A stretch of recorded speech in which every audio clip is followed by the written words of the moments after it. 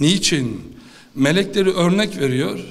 La ya'sun Allah ma emarahum ve yef'alun ma yu'marun. Onlar Allah'a isyan etmezler. Emredileni hemen yerine getirirler. Sana diyor ki sen de melekler gibi olur musun? Sokağa çıktığında önünde bir kadın yürüyor. Kendini arz eden bir kadın var. Arkadaşların başka yollara, mecralara gidiyor. Kadınlar erkekler gibi, erkekler kadınlar gibi giyiniyor. Sağında, solunda, önünde, arkanda bunlar var. Onlar seni belhum adal bir hayata davet ediyor.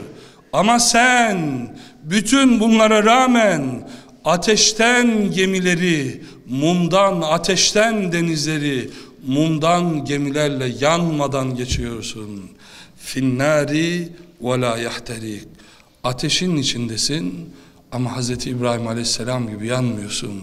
Her yer ateş, her yer cehennem, sağın cehennem, solun cehennem, deniz yaz günü öğle vakti cehennem, cehenneme çağıran suretler, heykeller görüyorsun.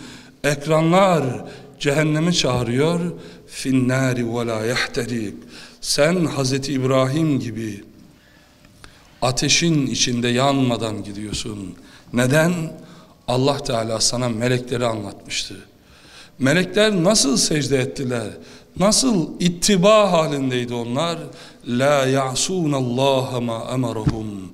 Ya Rabbi emir, buyruk ve talimatlarına onlar uydular nasıl isyan etmedilerse bize de öyle bir iman, öyle bir teslimiyet ihsan eyle diye dua ediyoruz.